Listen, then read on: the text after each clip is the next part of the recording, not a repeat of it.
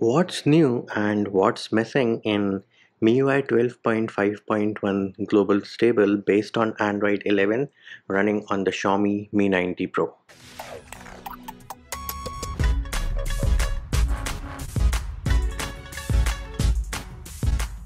Hey peeps, what's up? Munchy here, back with another video and we finally got MIUI 12.5.1 based on Android 11 for the Xiaomi Mi 9T Pro and of course I have installed it. If I go into all specs you will notice that the security patch is from May 2021 even though we are in June of 2021 but that is how Xiaomi rolls. The security patches are always a month late. Redmi K20 Pro owners who are watching this video do note that this again is the international ROM and the Redmi K20 Pro which is sold in India will come with the ever so famous Poco launcher.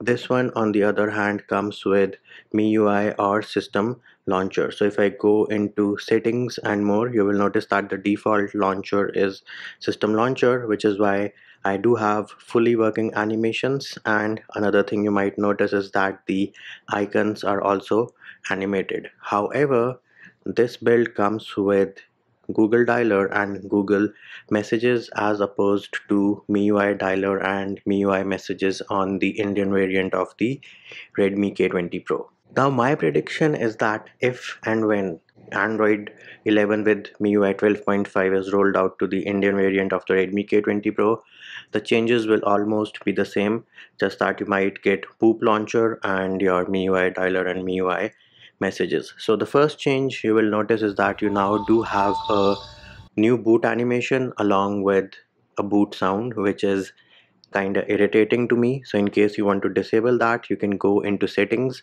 sound and vibration and then you can go into additional settings. And here it is the toggle you can use to disable the boot audio. While we are still in sound and vibration if your Wi-Fi is turned off and you do not have any data on your device as in any data connection if you go into notifications or you go into ringtones or you go into alarm you will notice that you do have the new tiled style UI however if you do have your Wi-Fi turning on it is going to open their online store next up if you try to enable or disable your do not disturb you do get a new toast notification which does look pretty cool. And while we are talking about android 11 you can see that you do have the easter egg of android 11 working without any issues. But do note that there is no bubbles implementation in MIUI 12.5 and once you enable the easter egg you'll have to go into notifications and control center smart home make sure that android r easter egg is selected which is when when you access your control center. That is when you will be able to see your cat controls or the easter egg controls. Now while we're talking about the control center you do have some changes in the control center. So for starters if I swipe down you will notice that the brightness slider is now pinned at the bottom. Previously it would disappear beyond the screen. Now it is pinned. And if you try to change the brightness everything else disappears so that you can see the effect in real time which I think is pretty cool now no sim data usage as of yet but if you swipe across your control center you can switch between the notifications and the control center. Again very handy. And if you press and hold on any notification you do get the option of allow snooze and other options Next thing you also get a new volume panel. So here it is. This is how the new volume panel looks like. If you select do not disturb, you can change the DND timer using a slider and again it does look pretty dope. What you do not get is the MIUI 12.5 China style power menu. So the power menu is still the old one over here. Next change you will notice is if you go into settings and then if you go into apps, you will notice two new options, manage home screen shortcuts. So from here in you can remove any shortcut on the home screen.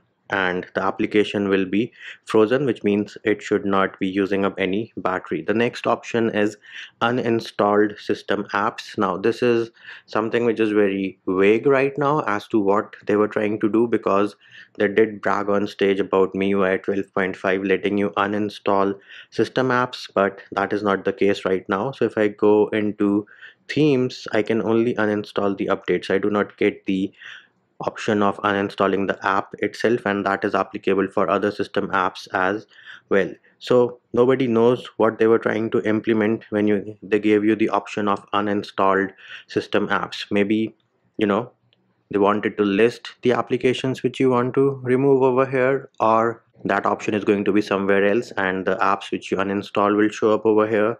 Nobody knows other than the super genius engineers and software developers over at Xiaomi. Next change you will notice is that you have a few new super live wallpapers. So if you go into settings themes profile wallpapers super wallpapers. You now have five different super live wallpapers baked into MIUI 12.5 out of the box. And before I forget you do get a new MIUI 12.5 logo as well. Next up if you open the gallery application you will notice that you still have the old gallery style.